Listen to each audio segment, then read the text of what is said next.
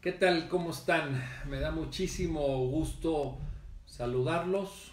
Eh, estamos eh, en tiempos de pandemia y es momento en que los abogados tenemos que hacer una nueva reflexión sobre los temas que atendemos, los temas que son de nuestra incumbencia y cómo podemos pues dentro de lo posible, dentro de las circunstancias que para nadie, para nadie son óptimas ni deseadas ni deseables, ¿cómo podemos aprovechar mejor este tiempo? Quiero compartir con ustedes eh, lo que seguramente ya saben en estos días, en estas semanas, eh, particularmente las dos últimas semanas del mes de marzo, lo que llevamos del mes de abril, pues ha habido muchas inquietudes, muchas consultas de personas a través de las redes sociales, a través de Internet en general,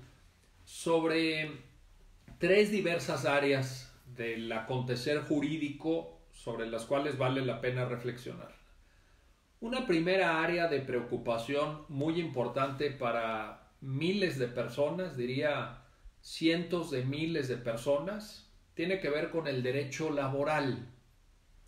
Las dudas que se nos han planteado a muchos de nosotros eh, tienen que ver con despidos, tienen que ver con modificación de las condiciones de trabajo, por ejemplo, condiciones salariales, por supuesto. Algunas empresas les han pedido a los trabajadores que tomen sus días de vacaciones durante eh, este periodo de pandemia para que cuando ya se normalice la situación pues eh, estén dedicados al, al, trabajo y ha habido dudas sobre eso también. Y lo que yo he compartido con ustedes y he recomendado también a quienes me han hecho estas consultas es que tenemos que darnos cuenta de que la situación es extraordinaria. No podemos seguir pensando y asesorando a trabajadores y a empresas en lo que cada uno de nosotros como abogados hagamos de la manera rutinaria en la que en condiciones normales lo haríamos. Porque esas condiciones normales en este momento no existen. Tenemos que pensar de manera innovadora. Y la solución creo que pasa por negociar, darnos cuenta que lo más valioso que podemos hacer en estos días, en estas semanas, en estos meses quizá, es preservar las fuentes de trabajo. Creo que está en el interés de todos, trabajadores y patrones, que las empresas no cierren. Si las empresas cierran, si las empresas se ven obligadas a cortar el flujo salarial en la medida en que puedan mantenerlo, a los trabajadores, el círculo que se va a desatar en términos de penuria económica va a ser tremendo. Nos va a costar años reconstruir el tejido laboral, el tejido empresarial. Tenemos que ser realistas, tenemos que darnos cuenta de las dificultades por las que están pasando eh, trabajadores y patrones, por supuesto. Preservar la fuente de trabajo, repito, está en el interés de todos. Lo podemos hacer en muchos casos, en algunos casos, no siempre se va a poder, pero en algunos casos, y eso es lo que yo estoy sugiriendo y lo que estoy recomendando, eh, a través de esquemas de negociación. Esquemas de negociación que son apropiados, por supuesto, para el sector eh, privado. Eh, que, como ya lo dije en mis redes sociales, no se eh, está en la misma situación en el sector público. Esta idea de bajarles el sueldo voluntariamente, entre comillas, a servidores públicos y quitarles el aguinaldo no está prevista en el ordenamiento jurídico mexicano. Es una eh, decisión que impuesta de manera unilateral lo dije ya en las redes sociales, lo, lo reitero en este momento, eh, es inconstitucional e ilegal. eh, algunas personas me habían dejado comentarios en las redes sociales de por qué yo sugería negociar, negociar y negociar en el sector privado, pero no eh, aceptaba lo mismo para el sector público. Bueno, porque la normatividad es precisamente por esa razón es que hay un apartado A en el artículo 123 de nuestra Carta Magna y hay un apartado B para los trabajadores al servicio del Estado. El régimen jurídico de la iniciativa privada y del sector público es diferente. Por eso es que no podemos trasladar los mismos argumentos que se pueden ofrecer en una interpretación jurídica para el sector privado hacia el sector eh, público. Pero yo creo que ahorita la prioridad es eh, preservar, repito, en el sector privado la vida de las empresas, preservar las fuentes de trabajo y eso requiere esquemas de negociación en los cuales los abogados podamos aportar mucho. Creo que una buena asesoría jurídica va a ser de enorme relevancia en estos momentos. Dos, también ha habido muchas consultas. Hay personas eh, que están preocupadas en, el terreno del de familia.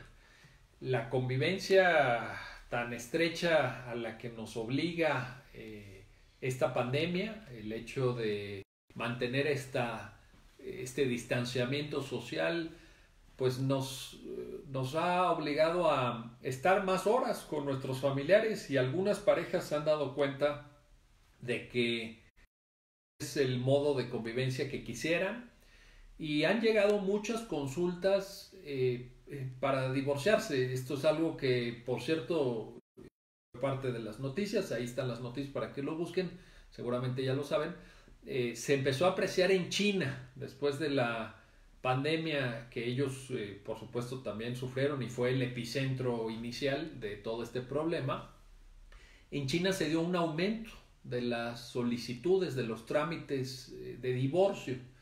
También están haciendo algunas consultas al respecto en México y las personas que están viendo, viendo afectadas sus fuentes de ingreso están haciendo consultas también sobre pensiones de alimentos. ¿Por qué? Pues porque naturalmente tanto trabajadores como patrones que tenían un cierto nivel de ingresos y que sobre ese nivel de ingresos fue fijada una pensión de alimentos líquida, tantos pesos al mes, pues, eh, en una circunstancia extraordinaria como la que estamos viviendo, ese monto pues tiene que ser evidentemente reconsiderado. El problema, tanto para los divorcios como para los ajustes de pensiones de alimentos, es que los tribunales están por el momento cerrados. Entonces, yo creo que también aquí tenemos nosotros como abogados que ir previendo qué va a pasar, ir afinando nuestras estrategias, nuestras asesorías, porque viene créanme, mucho trabajo en materia de derecho de familia. Y un tercer sector del que les quiero hablar, que también ha sido materia de diversas consultas en las semanas, en los días recientes, tiene que ver con el derecho civil y mercantil, con el cumplimiento de las obligaciones, con los términos de los contratos, incluso particularmente con los pagos de las rentas, el contrato de arrendamiento, qué, qué sucede, se puede aplicar alguna eh, causal prevista en la ley para eximirnos de esas obligaciones como por ejemplo eh, fuerza mayor o eh, caso fortuito, etcétera. Ha habido varias, varias consultas en ese terreno y también es algo a lo que le tenemos que poner mucha atención. De nuevo, aquí la reflexión es, las condiciones son extraordinarias. ¿Se vale plantear una renegociación de un contrato en esta época? Claro, por supuesto, estaría en el mejor interés de todas las partes en vez de irse directamente a una rescisión de contrato, a un incumplimiento total, completo de la obligación, a un esquema de negociación en donde de alguna manera las partes puedan repensar por ejemplo, montos de arrendamiento o condiciones de pago para el arrendamiento, eh, trasladando los pagos al segundo semestre del año, etcétera. Creo que esa tercera área también nos obliga a nosotros como abogados a repensar nuestra tarea y a, modificar nuestras estrategias de asesoría para quienes nos están haciendo consultas. Como ustedes saben, avanzo en otra reflexión. El presidente de la Suprema Corte eh, anunció que a partir del día 20 van a sesionar de manera remota y es probable que la misma decisión que se tomó para la Suprema Corte se vaya a tomar para otros órganos, particularmente tribunales colegiados de circuito del Poder Judicial de la Federación. En ese sentido, eh, creo que es un llamado de atención, esperemos que esto eh, pues realmente tenga un efecto positivo para ir desahogando la carga de trabajo pendiente, no detener las tareas de administración de justicia que son del mayor interés para todas y todos nosotros, por supuesto. Y de nuevo, pues aquí también hay que innovar.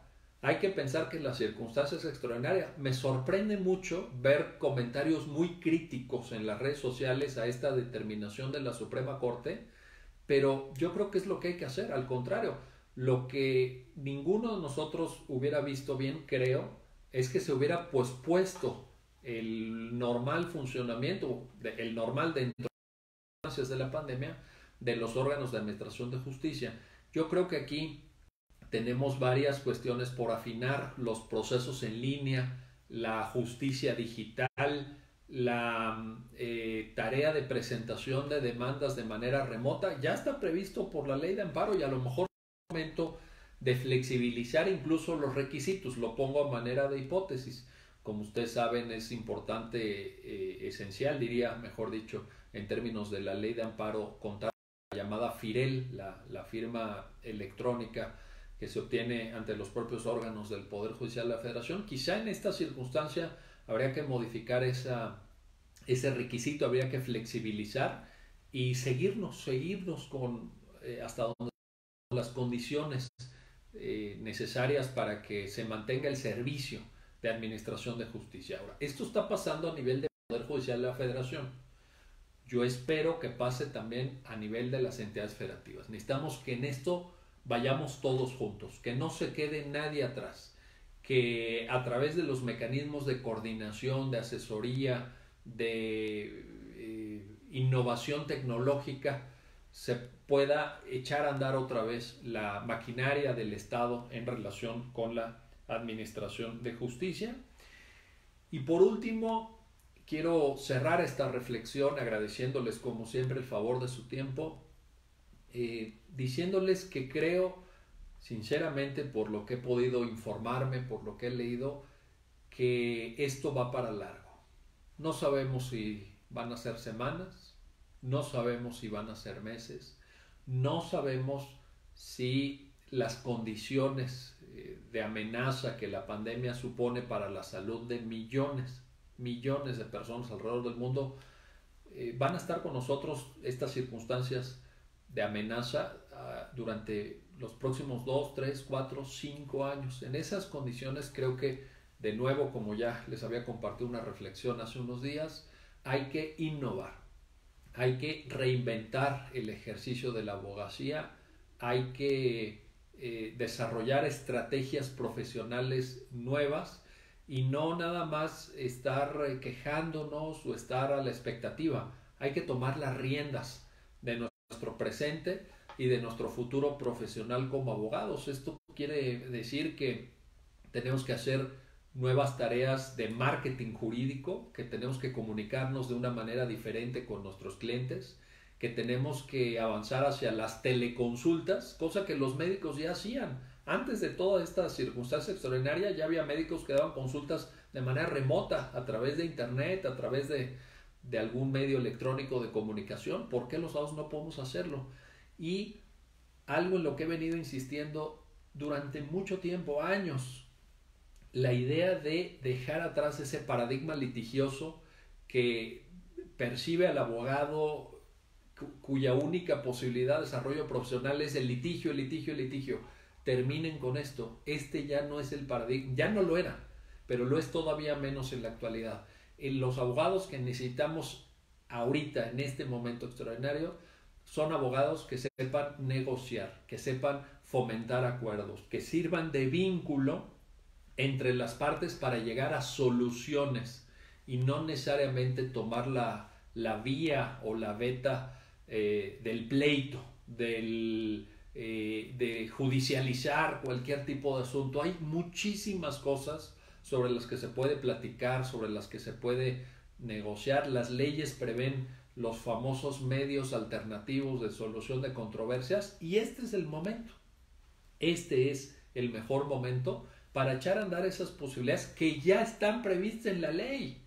Nada más que la cultura jurídica tan orientada al litigio, tan orientada al pleito, tan orientada a la confrontación, que muchas veces, digámoslo con toda sinceridad, los abogados fomentamos, esa es la cultura que hay que dejar atrás.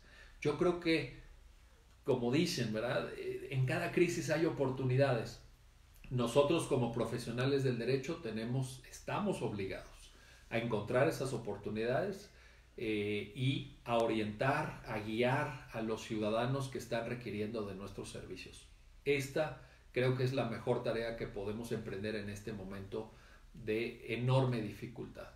Les deseo que se cuiden, les deseo que estén muy bien, les agradezco su atención y si pueden, en la mayor medida posible, quédense en casa. Eso preserva la salud de ustedes y preserva la salud de todos. Quédense en casa. Gracias y hasta pronto.